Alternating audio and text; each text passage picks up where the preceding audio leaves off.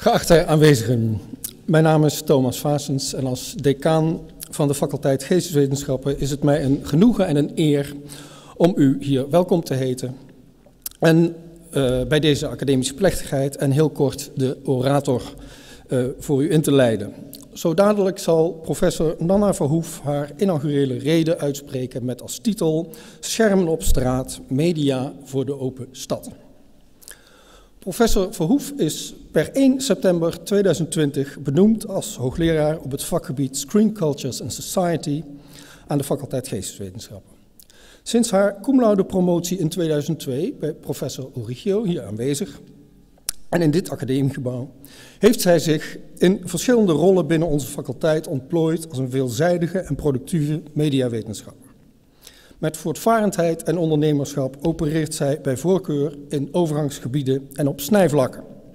Op het snijvlak tussen disciplines, bijvoorbeeld die van wetenschap en creatieve maakpraktijk. Maar ook tussen gemeenschappen, zoals die van wetenschappers en hun stakeholders in stad en samenleving.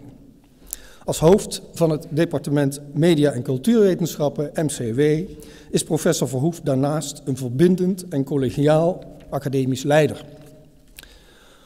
Professor Verhoefs geschiedenis, of beter voorgeschiedenis, aan deze universiteit gaat terug tot voor haar eigen studietijd en over de grens van de generaties, zowel aan vaders als aan moederszijde. Dat gezegd hebbend, en hoewel het protocol het eigenlijk niet toestaat, neem ik toch de gelegenheid hier professor Mieke Bal van harte welkom te heten in ons midden en in het cortège.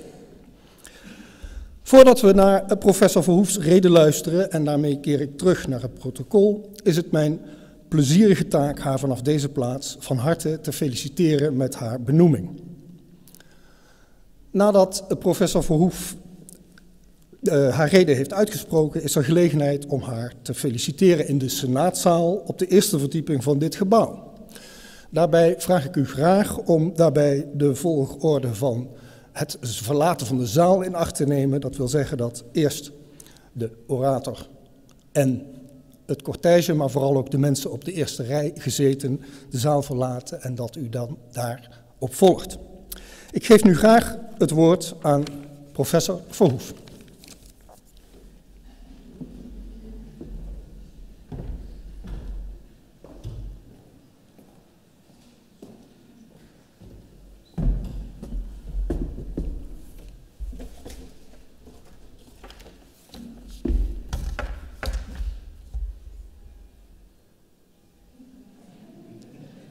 Meneer de rector magnificus, geachte aanwezigen. Tweeënhalf jaar geleden ging de stad op slot. Beelden van lege straten gingen online de wereld over. Gebouwen en ook het luchtruim werden schermen voor projecties van berichten en afbeeldingen over deze bijzondere situatie. Tijdens de COVID-19-pandemie hebben we ervaren hoezeer ons schermgebruik geïntegreerd is geraakt in vrijwel alle facetten van ons leven. Ons school- en werkleven, ons privéleven en openbare leven.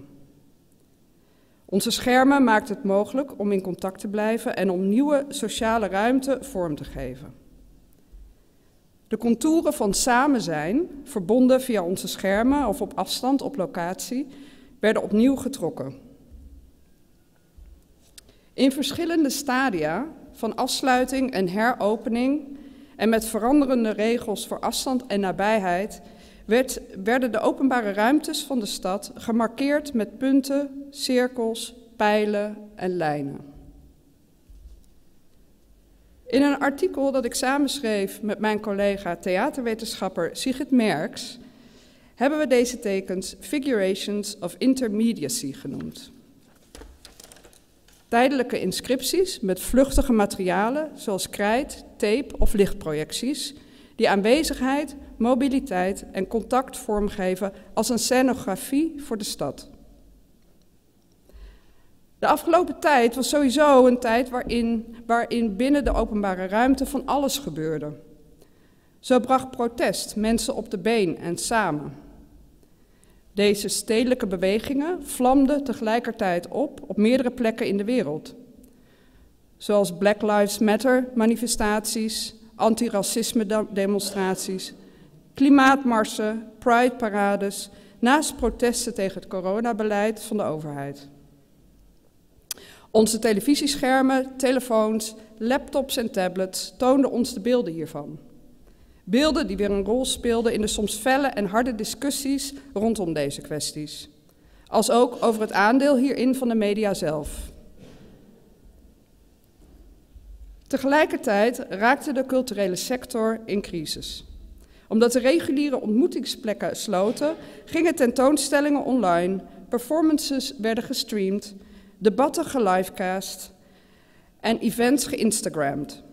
Creatief gebruikmakend van alternatieve kanalen, platformen en infrastructuren. Bovendien stelde de culturele sector de eigen positie en maatschappelijke rol kritisch ter discussie in het licht van deze pandemie. Centraal in deze discussie is de evidentie: de stad is niets zonder cultuur.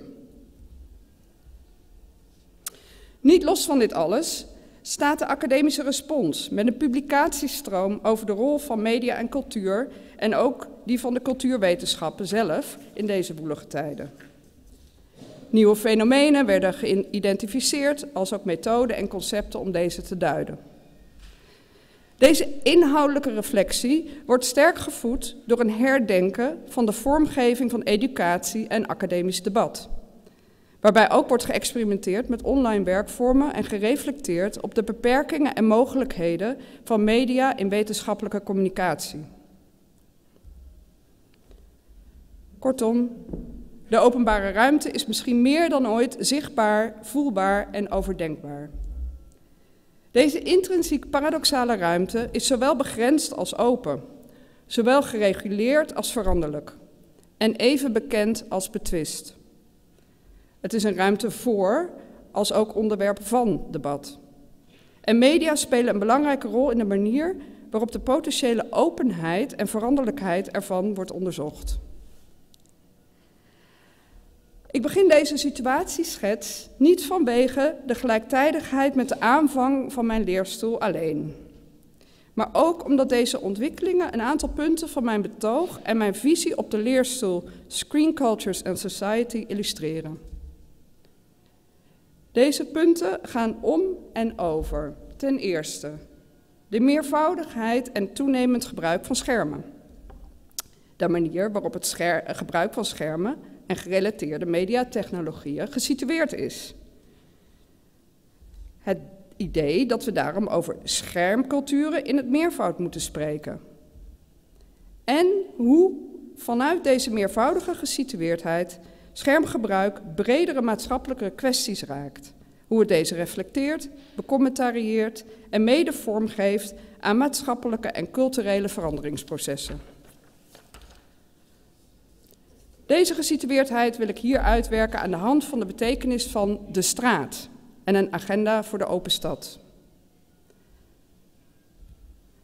Om bij het begin te beginnen, schermen in het meervoud. En hiervoor ga ik even terug naar het openingsbeeld. Wat we hier zien is één moment uit een serie lichtprojecties op het standbeeld van de 19e eeuwse Amerikaanse generaal Robert E. Lee in Richmond, Virginia. Het werk werd in 2020 gemaakt als onderdeel van het initiatief Reclaiming the Monument, gestart na de moord op George Floyd in mei van hetzelfde jaar. Dit initiatief zet zich in voor publieke activistische lichtkunst en doet een oproep tot zowel lokale als internationale steun voor deze kunstvorm. Het is een voorbeeld van de wijze waarop lichtprojecties betekenisvol kunnen ingrijpen in de materialen, structuren en patronen van de stad. Als een scherm voor deze projecties verdwijnt het historische monument erachter. Nog slechts zichtbaar als een schaduw wordt de eerdere betekenis overschreven met andere boodschappen in licht en kleur. In het midden van de stad houdt het werk zo een argument over de stad en onze samenleving op dit moment. Over de historische sedimenten die sporen achterlaten in het heden.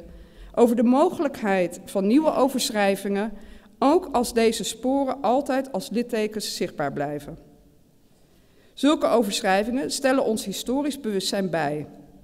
En hierdoor gaat het werk in feite ook over de potentie van het schermmedium als stedelijke interventie. Oftewel, het zegt wat het doet en het doet wat het zegt. Stedelijke projectiekunst stelt wat mij betreft de manier aan de orde waarop het scherm zowel zichtbaar als onzichtbaar is. Zowel ruimte inneemt als openbreekt. En hoe het nieuwe betekenissen creëert en hierdoor zowel letterlijk als figuurlijk onze gedeeltes, gedeelde ruimtes in beweging brengt. Hiermee is het reflexief over de eigen materialiteit, wat en waar het is, medialiteit, wat en met wie het communiceert, en performativiteit, wat het doet en teweeg brengt. Het thematiseert hoe het scherm als act en als gebeurtenis gesitueerd is. In plaats van over een scherm is het wellicht beter om hier te spreken van het meervoud schermen, als tevens een werkwoord. Dit schermen vindt plaats op een betekenisvolle plek, op een betekenisvol cultureel moment, binnen een betekenisvolle reeks. Projecties reflecteren hiermee ook op het eigen ingrijpen in de bestaande situaties en daarmee op de mogelijkheid voor interventies in het algemeen en hoe ze daarmee nieuwe identiteiten en relaties kunnen voortbrengen. En dat maakt de projectie als tijdelijk scherm gesitueerd, maar ook situerend. Het positioneert de omstanders op locatie in relatie tot het werk en zijn boodschap, maar bovendien, het geeft ons als getuigen op wat verdere afstand ook een taak. In zijn oratie. Ik zit even te zoeken waar die is. In zijn oratie uit 2002 introduceerde mijn collega, de mediahistoricus Frank Kessler, een model dat het mogelijk maakt om media productief te differentiëren en te verrijken, uh, vergelijken. Niet aan de hand van vaste eigenschappen, maar vanuit hun gesitueerd gebruik. Centraal in dit model staat het uit het Frans overgenomen begrip dispositief, wat opstelling of arrangement betekent en onderdeel is van het mediale apparaat of apparatus. Het is als concept ontwikkeld door cultuurfilosoof Michel Foucault in de relatie tot structuren van kennis en macht en specifiek voor film en de bioscoopsituatie door filmtheoreticus Jean-Louis Baudry. Aan de hand van het begrip dispositief formuleert Kessler een model voor de analyse van historisch verschil, wat volgens Kessler de grondslag legt voor belangrijke interventies in het herdenken van vooruitgang binnen de mediageschiedschrijving. Dit model maakt de analyse mogelijk van de relationaliteit die kenmerkend is voor iedere mediale situatie. Een relatie tussen de materiële en technologische condities, de textuele vorm of inhoud van de communicatie, denk aan beeld, tekst, geluid, maar ook haptische signalen, en de kijkende, ervarende en denkende toeschouwer of deelnemer die gepositioneerd en aangesproken wordt. Deze triadische situatie is bovendien ingebed in een breder en gelaagd dispositief. Hier de stad, maar daarmee ook binnen diverse plaatsgebonden of diasporische culturen en op specifieke historische momenten. Sterk aan dit model is dat het geen essentialistische benadering van media presenteert, maar handvatten biedt voor een comparatief denken in termen van specificiteit, overeenkomst en ook verschil. Zowel door de tijd heen als ook tussen verschillende locaties, situaties en culturen. En hiermee geeft het een analytische invulling aan de historisch-comparatieve benadering van nieuwe media, of beter, media in transitie en technologische innovatie, zowel historisch als hedendaags, zoals geïntroduceerd en ontwikkeld in Utrecht door William Uricchio, mijn promotor en mentor, die op fundamentele wijze mijn werk heeft beïnvloed. In het vervolg van mijn betoog wil ik, voortbouwend op dit model, vanuit een situationeel perspectief op schermen, specifiek schermen in de stad, kijken naar hoe deze mede vormgeven aan relaties tussen media en technologie, het ervarende subject en de gelaagde sociale context waarin deze vormgeving plaatsvindt. En ik bekijk specifiek hoe schermen in de stad hiermee een rol kunnen spelen in het onderzoeken van en reflecteren op en potentieel ook het veranderen van de stad. Hiertoe zal ik het theoretisch model van dispositief verrijken met een aantal concepten die specifiek ingaan op wat de emergente, ofwel voortkomende en ontwikkelende, en performatieve, oftewel gevolgen voortbrengende aspecten zijn. Of laten we ze samen noemen. Op de letterlijk creatieve aspecten van schermen en media, zowel in als voor de openbare ruimte. Passend bij de specificiteit van de stad als gelaagd dispositief en bij de rol van schermen en media daarbinnen, is een eerste begrip dat ik hier wil introduceren dat van mediaarchitectuur. Dit begrip functioneert in mijn voorstel zowel als een object als ook een concept en daarmee, zoals nog duidelijk zal worden, als een perspectief. Als object verwijst de benaming van mediaarchitectuur naar architectonische elementen in de stad waar mediatechnologieën een structurele, materiële component van uitmaken. Denk hierbij aan schermen op gebouwen, gebouwen met media-elementen als licht of geluid, objecten met datasensoren, zuilen met touchscreens en ook aan meer tijdelijke interactieve media-installaties op straat, mobiele media, augmented reality, etc. Hier op de slide ziet u wat uh, lokale voorbeelden uit Utrecht.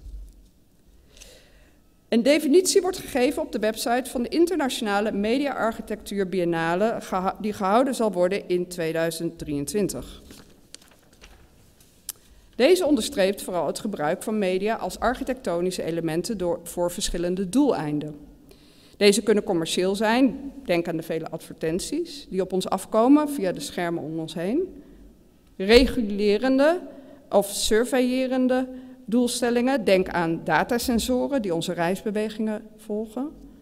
Maar ze kunnen ook visueel spektakel en platformen bieden voor artistieke expressies, wat kan bijdragen aan collectieve identiteit, participatie van burgers en vormen van empowerment. Met name bij dit laatste, het artistieke gebruik, komt ook een agenda voor mediaarchitectuur in beeld. Centraal op die agenda staan maatschappelijke kwesties zoals die van gelijkheid, gelijkwaardigheid, excuus, diversiteit en inclusie.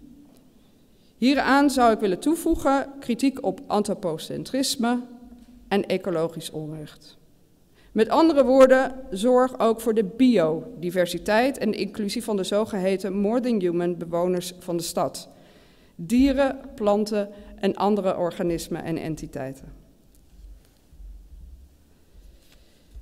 Deze agenda, of beter het feit van deze agenda, stond expliciet centraal tijdens de vorige editie van de Media Architectuur Biennale.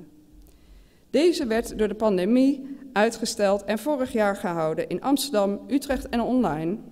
En was georganiseerd in een samenwerking tussen Michiel de Lange en mijzelf uit Utrecht, collega's van de Hogeschool van Amsterdam, Martijn de Waal en Frank Surebroek, en de leden van het internationale consortium van de Biennale.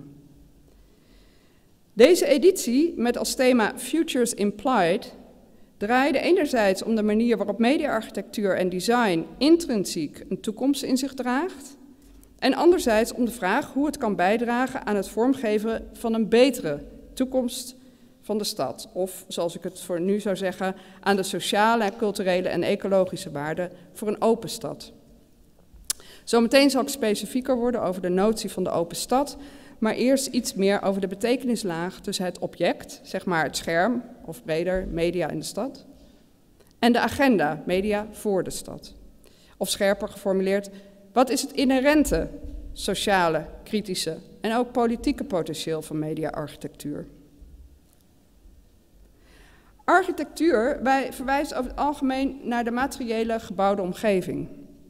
Net als bij andere ontwerpdisciplines, zoals design, dramaturgie of curatie, omvat de term zowel de disciplinaire, disciplinaire praktijk van het ontwerpen als de producten daarvan, de ontwerpen zelf.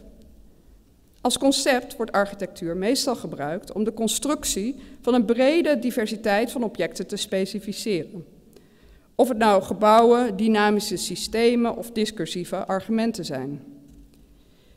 Denk aan de architectuur van een bibliotheek een digitaal spel of een publieke campagne. Deze structurele, ruimtelijke en materiële eigenschappen als uitkomst van een architecturaal ontwerp herbergen ook impliciete toekomstige mogelijkheden of voor verblijven en bewegen en voor handelen en denken.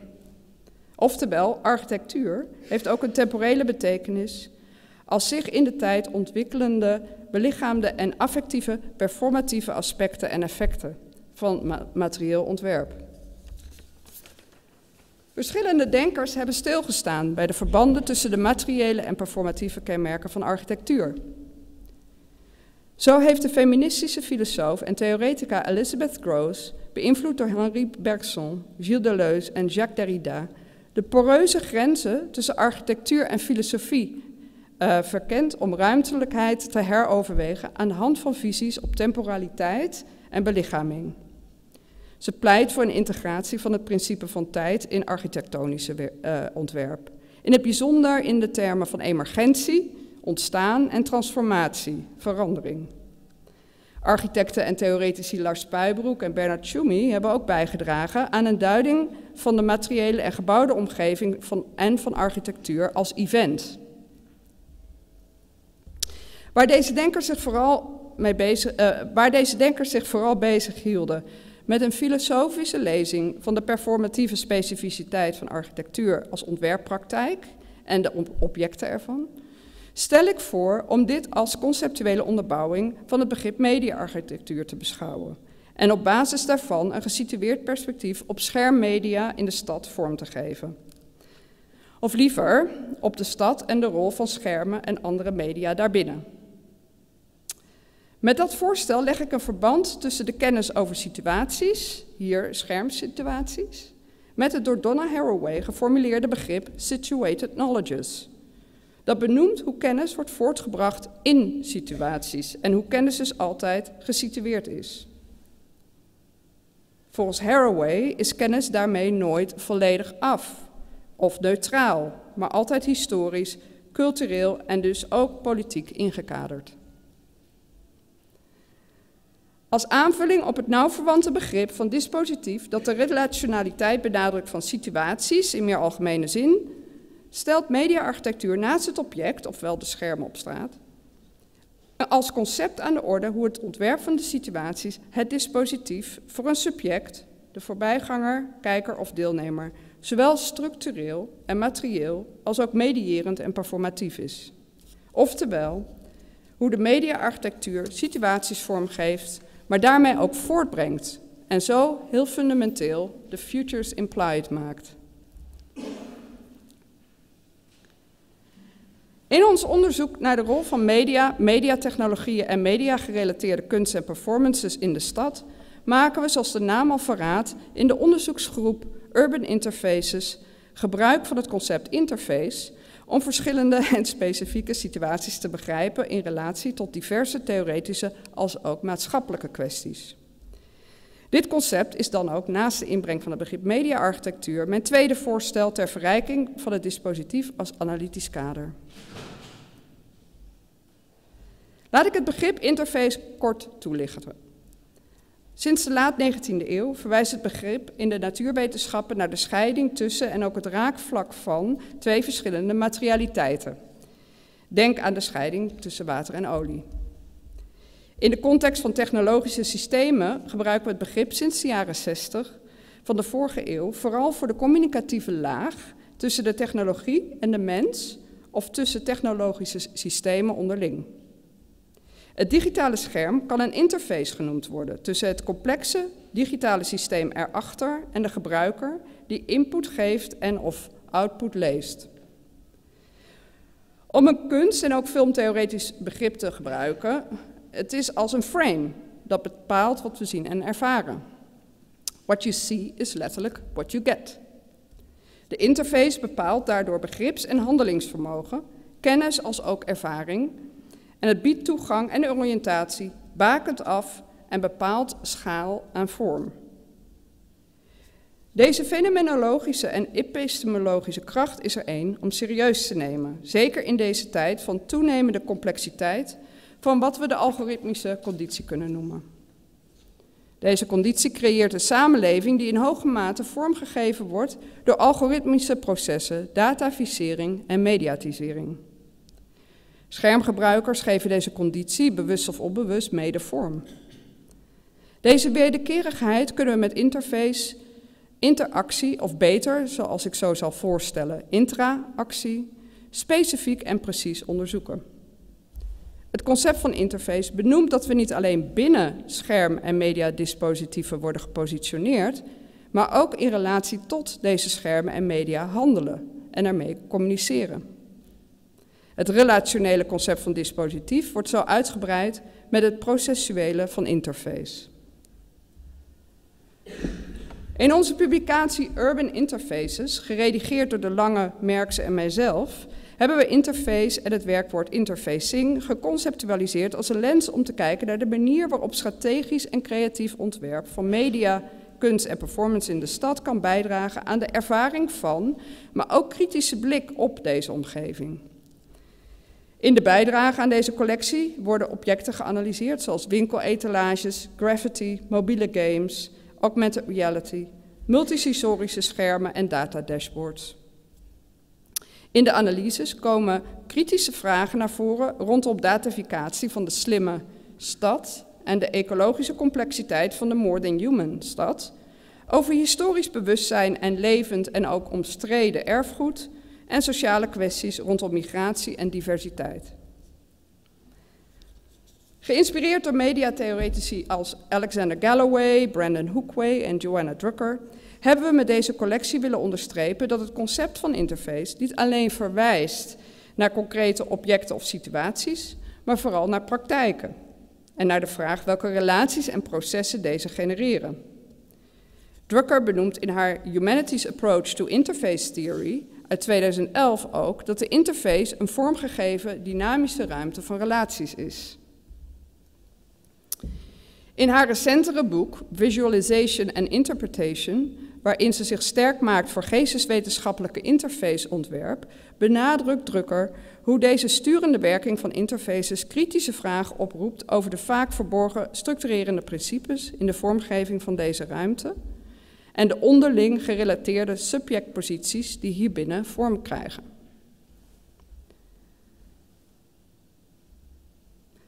Deze fundamentele relationaliteit wordt in interface- en designtheorie veelal benadrukt door erop te wijzen dat de interface verschillende elementen, entiteiten of subjecten samenbrengt en productief verbanden legt en communiceert. Maar hier stuiten we op een belangrijke paradox. De scheiding die nodig is voor verbinding, communicatie en interactie. Deze paradox impliceert een inherente spanning en frictie, al dan niet zichtbaar en kenbaar voor het subject. De nieuwe mogelijkheden biedt, er zijn nieuwe mogelijkheden, maar ook beperkingen. Een voorbeeld op straat is een recente uh, publieke campagne in Utrecht tegen straatintimidatie. In tegenstelling tot de standaard reclamezuil die oproept om geld te spenderen, roept deze zuil hardop mannelijke voorbijgangers na met obscene uitspraken. De bedoeling is om de rollen om te draaien en om daarmee gesprek op gang te brengen en bij te dragen aan potentiële gedragsverandering op straat. Dit voorbeeld is overigens wellicht wat recht toe recht aan en niet geheel onproblematisch, omdat het posities en relaties ook juist fixeert. Een heel ander voorbeeld op het snijvlak van kunst, activisme en multimedia design en techniek en natuurwetenschappen is de urban, is urban environmental art. Vormen van eco-kunst die sociale en politieke issues rondom de soms productieve en soms zeer frictionele relatie tussen cultuur en natuur, technologie en klimaat aan de orde stellen. Bijvoorbeeld, voor, uh, bijvoorbeeld het werk van Andrea Polly, gast en spreker op de afgelopen Media-architectuur Biennale. Energy Flow uit 2016 visualiseert windenergie op de Carson Bridge in Pittsburgh, vernoemd naar de Amerikaanse Rachel Carson, biologe en vroege milieuactivist uit de 20e eeuw. Een ander werk van haar, Particle Falls, visualiseert de omvang van lichtvervuiling. Vanuit het begrip van interface als interfacing zien we dus een relatie tussen het object en een transformatief proces dat volgens, vervolgens nog wat nader gespecificeerd moet worden. Natuurkundige en feministisch wetenschapsonderzoeker Karen Barat maakt hiervoor een productief onderscheid tussen interacties en wat, zij, wat die uh, intraacties noemt. Waar de notie van interactie uitgaat van de ontmoeting en uitwisseling van vooraf vaststaande en onderscheidbare entiteiten en identiteiten, zoals computer-mens, mens-mens, omgeving-individu, wordt met intraactie het feit benoemd dat deze entiteiten ontstaan en voortkomen binnen en vanuit relaties en situaties of fenomenen, zoals Barat deze noemt. Intraactie maakt de spanning en spanningen en fricties waarover ik zojuist sprak goed zichtbaar. Kunnen we bijvoorbeeld garanderen dat het eerder genoemde billboard de juiste personen naroept? En als een gendersensitieve man, een vrouw of een non-binair of transpersoon wordt nageroepen, wat doen die dan met hen? Wat doet die dan met hen? Sorry. En naast het feit dat het werk van Polly ons wijst op spanningen rondom de belangen van mens en milieu, biedt het ook visueel spektakel dat misschien niet direct doet nadenken en handelen, maar vooral, eerst, vooral en eerst doet stilstaan en bewonderen. Je zou kunnen zeggen dat dit ook een spanningsrelatie oplevert tussen intellect en affect. Het concept van urban interfaces op deze manier begrepen als verbindend en verschillen articulerend en perspectieven en relationaliteiten producerend, is vruchtbaar voor het denken over de openbare ruimte zelf. Deze ruimte kan gekarakteriseerd worden als een plek van uitwisseling en mogelijkheden, maar ook van regulering, spanning en conflict. De openbare ruimte is geen statische en gegeven ruimte, maar een ruimte in wording, zoals Deleuze het zou noemen. En in termen van Barat situeren interacties ons daarbinnen, waardoor nieuwe posities en mogelijkheden worden geproduceerd.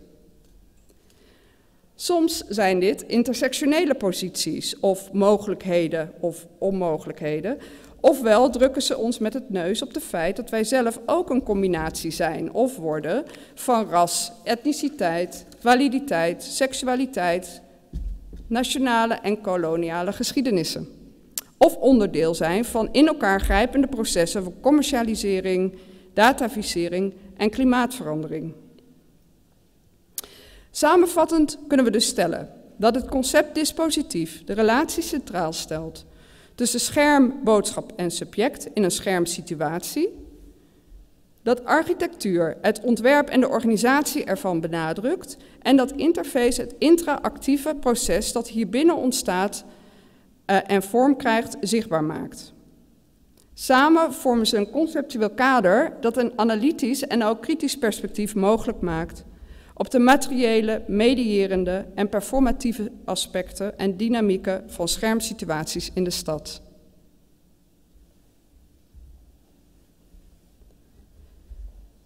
Terug naar de straat.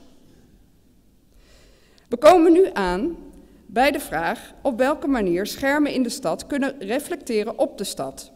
Voorstellen kunnen doen voor de stad en daarmee kunnen bijdragen aan veranderingsprocessen ten goede van deze sociale ruimte. Klassiek Griekse terminologie wordt vaak gebruikt als begrippenkader voor specifieke domeinen binnen stedelijke samenleving en ecologieën. Bekende voorbeelden zijn demos, het publiek, oikos, het huis, agora, markt, polis, stad of Gaia, aarde. In lijn met deze andere begrippen stel ik voor om hodos te gebruiken om de straat of het straatniveau van het stedelijke leven aan te duiden en om dit als potentieel open te analyseren.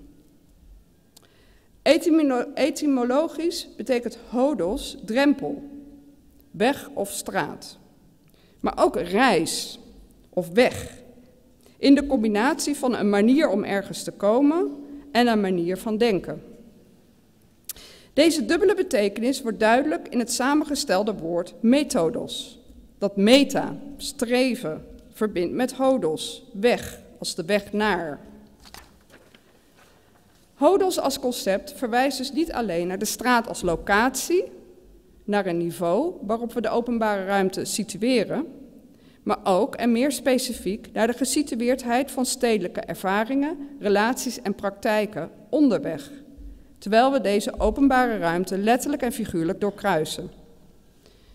HODOS als gepositioneerd tussen locus en traject, tussen straat en route, articuleert dan een visie op de stad als een transformatieve ruimte die tot stand komt in en door ons bewegen, navigeren, handelen en verbinden. Op dit punt aangekomen is een korte uitweiding op zijn plaats over de verhouding tussen hodos als woord voor een plaats naar hodos als een concept voor een proces en hodologisch als methode of werkwijze. In de praktijk worden methoden toegepast in de wetenschappelijke of creatieve handelingen in respons op een vraag of behoefte. Maar voor zulke toepassingen zijn methoden al geïmpliceerd, verborgen in de concepten waarmee we de wereld, onze directe omgeving of de op handen zijnde taken begrijpen. Uitgangspunten en lenzen die we hanteren en realiseren in ons denken en handelen. Door concepten te activeren en te mobiliseren in antwoord op concrete of abstracte eh, vragen, wordt hun methodologisch, kritisch en creatief potentieel geactualiseerd. Dit hebben Iris van der Tuin en ik het methodologisch hart of methodologicity van concepten genoemd in ons boek Critical Concepts for the Creative Humanities van dit jaar. Een verzameling en formulering van concepten voor uitwisseling tussen cultuur en mediatheorie, filosofie en creatieve maakpraktijken. Concepten zijn zowel theoretisch, analytisch als creatief. We mobiliseren, letterlijk brengen in gereedheid en activeren concepten in denken, doen en maken. Met concepten bouwen we argumenten, verhalen, beelden of andere objecten vanuit en met een visie. Dit is niet alleen het creatieve, maar ook het kritische potentieel dat inherent is aan de methodologische functie van concepten. En hoe zit dat dan met HODOS als concept voor de creative humanities? Als we de straat opvatten als de situatie waarin dingen, waarin dingen gebeuren en waar we niet alleen toevallig zijn, maar belangrijker nog, waar we handelen, ons bewegen en verbinden, dan is de straat bij uitstek het domein waar het stedelijke openbare leven vorm krijgt. Dit kunnen we in ontologische termen de instabiliteit van plaatsgebondenheid noemen. De fenomenologische en epistemologische betekenis van de straat suggereren hoe dit zowel situationeel, van ervaringen, als gesitueerd van kennis is.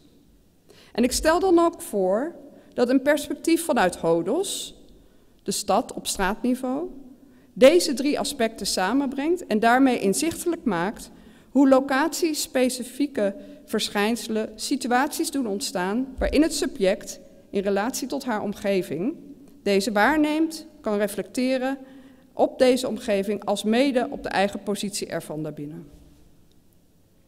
Mobiliteit en mogelijkheden voor positiebepaling en positieverandering gaan dus samen. De leuze heeft het over de hodologische ruimte.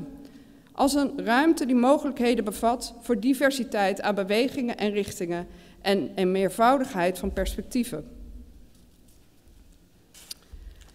Een dergelijke betekenis van HODOS is bijzonder relevant wanneer we denken over hoe stedelijke interventies werken. Of ze nu praktisch zijn, zoals bijvoorbeeld de tijdelijke bewegwijzering in het kader van corona, of expliciet artistiek en of activistische projecten die ons uit de dagelijkse routine halen, ons verrassen, ons even stil laten staan en doen denken.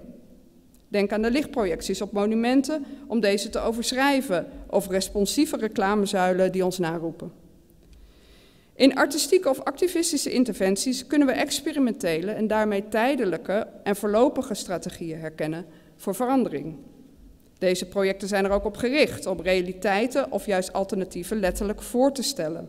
Ze maken ze zichtbaar en bespreekbaar. Bijvoorbeeld door de gangbare technologieën die ons openbare leven vormgeven te herbestemmen. of te herpositioneren. Of te de- en herterritorialiseren, om de woorden van Deleuze en Guattari te gebruiken. Of, in de terminologie die ik hier heb geïntroduceerd, door het stedelijke dispositief en haar interfaces te herschikken. Deze kijk op interventies van allerlei aard verbindt HODOS met methodos en biedt inzicht in het gesitueerde straatniveau van de methode van de stedelijke interventie. Interventies zijn per definitie tijdelijk en experimenteel in de breedste zin van het woord. Hierdoor kunnen ze met gesitueerde perspectieven op de stad een veranderingspotentieel vanuit een creatief kritische houding benoemen. Vanuit een hodologisch engagement met en binnen de contouren van de openbare ruimte zijn zulke interventies radicaal verschillend van meer afstandelijke afwijzende vormen van kritiek.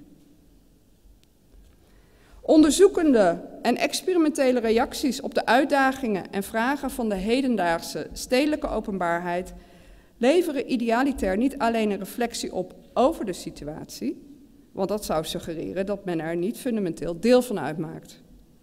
Door zijn situering in de openbare ruimte positioneert de interventie ons ook zelf als partners of participanten en nodigt zij ons uit om deel uit te maken van een zelfreflexief en experimenteel proces, waarbij het veranderingspotentieel van onszelf, stad en samenleving centraal staat. Deze statusverandering van het object heeft ook gevolgen voor de onderzoeker en haar methode.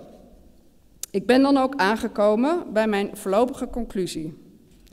Een visie op de manier waarop wij als onderzoekers vanuit de kritische en creatieve cultuurwetenschappen of creative humanities kunnen bijdragen aan onderzoek naar de voorwaarden en mogelijkheden van een open stad.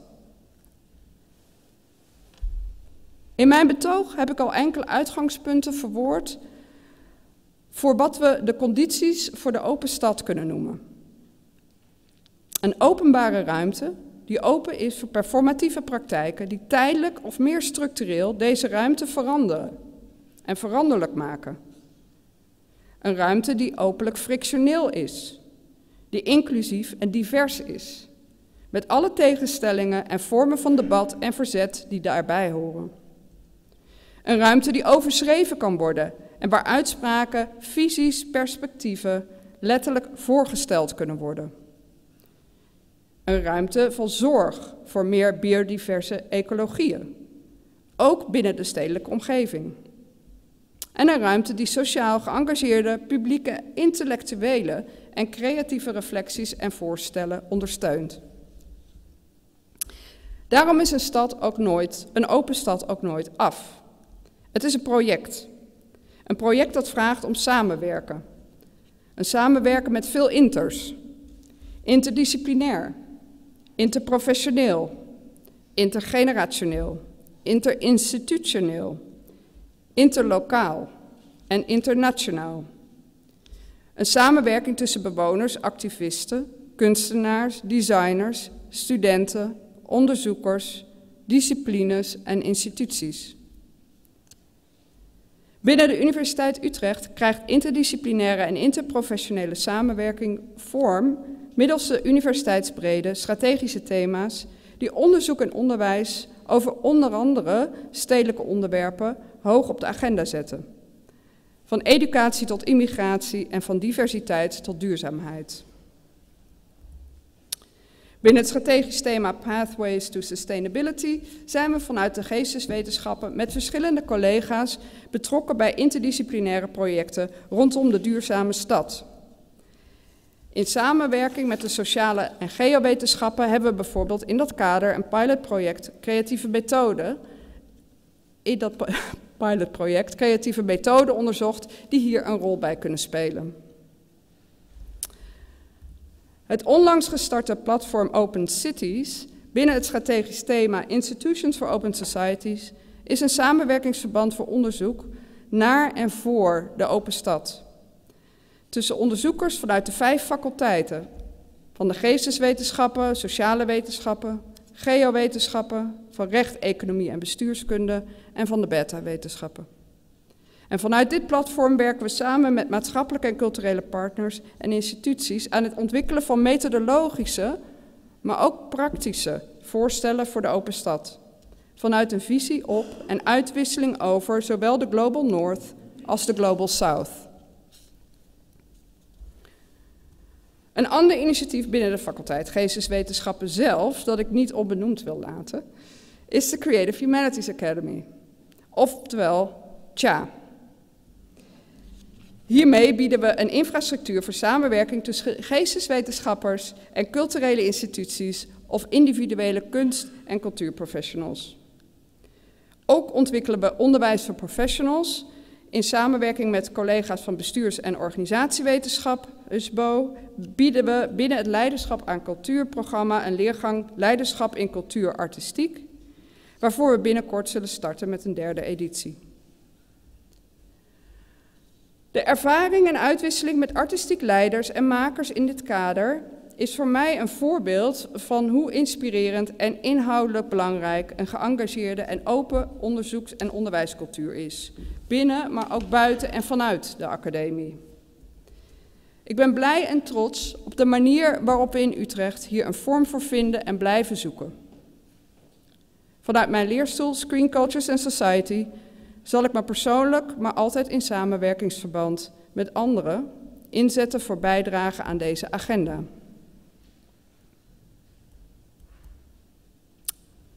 En dan mijn woord van dank.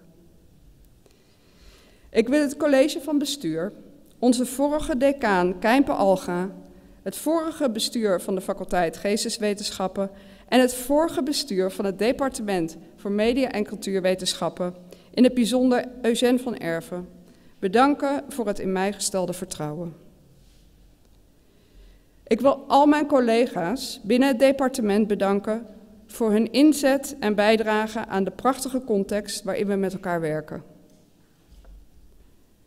Ik heb sinds vorig jaar de rol van departementshoofd op mij genomen voor de komende periode.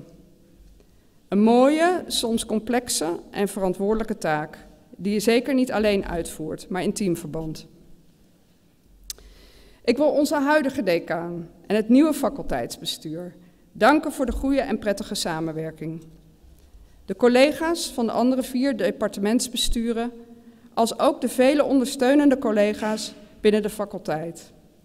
De onmisbare adviseurs, beleidsmedewerkers en secretarieel medewerkers die de boel draaiende houden. En ik wil de pedel Judith Jens noemen, die ons allen zo wegwijs maakt in dit gebouw met haar scenografieën. En ze zegt ook dat ze zegt dat alles goed komt. Maar uiteraard is mijn grootste dank verschuldigd aan mijn naaste collega's binnen het MCW-bestuur. Voorheen Frank, nu Maaike, Sigrid M. en Sigrid W. Ik denk dat we het eerste volledig vrouwelijke departementsbestuur zijn binnen onze faculteit, maar ik vermoed ook universiteitsbreed. Dat wil ik natuurlijk even hardop gezegd hebben. Ik wil ook het team om ons heen benoemen. Met name Dorike, Florine, Gita, Ilse, Karine, Kira, Mariette, Marike, Monique en Saskia. Het is geweldig om met jullie samen te werken. En hier staand denk ik aan alle die mij in mijn jaren in Utrecht hebben gedoseerd, geïnspireerd, gesteund en gelukkig ook bijgestuurd. William en Frank, mijn promotores. Oh, daar zit je. William, thank you for seeing me. Daar is het allemaal mee begonnen. Ik hoop dat je weet hoe dankbaar ik ben. Voor je inspiratie, je vriendschap en support. Frank, dank voor je altijd aanwezige steun en voor je enorme kennis, waar we gelukkig met z'n allen gebruik van mogen maken. Michiel en Sigrid en de andere naaste collega's van de groeiende Urban Interfaces onderzoeksgroep. Anastasia, Bruce, Coco, Dan, Imar, Inte, Rick en Rosa. Dank voor het mooie samenwerken. Karen van S. Ooit student, nu collega en verbinder puur sang. Ons meest recente samenwerking is het door ons en met assistentie van Chris van der Vecht geredigeerde boekproject Situating Data: Inquiries in Algorithmic Culture, dat later dit jaar zal verschijnen.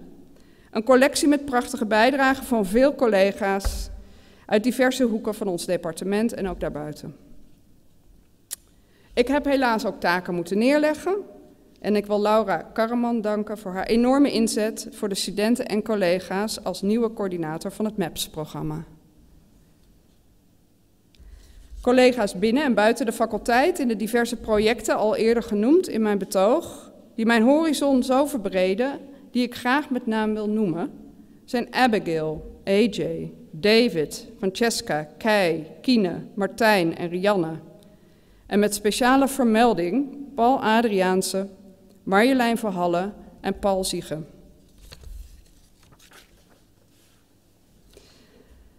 I want to give my deep thanks to all students and PhD researchers, past, present, and future.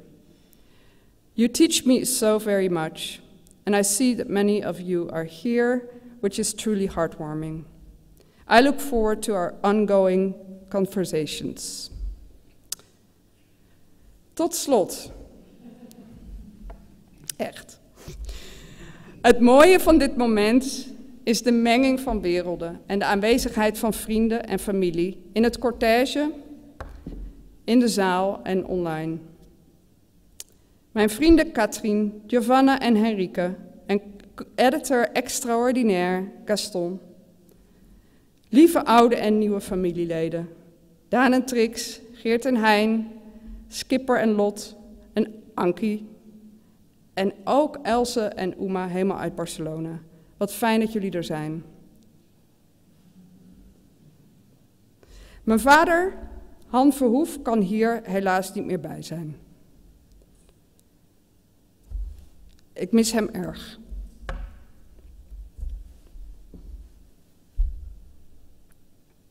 Mam.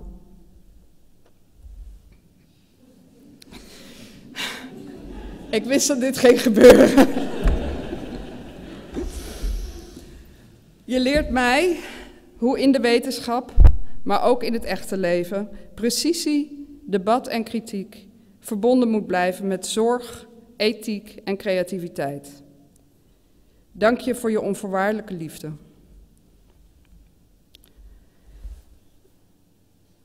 August en Lena, mijn mooie kinderen. Jullie zijn de wereld in aan het gaan via de universiteit en de kunstacademie. En het nodige chillen met vrienden. Ik ben zo vreselijk trots op jullie. En mijn laatste woorden zijn voor jou, Iris. Onze liefde, ons intellectueel partnerschap en hartgrondig plezier. Gevouwen in het nu zit ook onze toekomst. Ik kan niet wachten tot de rest. Ik heb gezegd,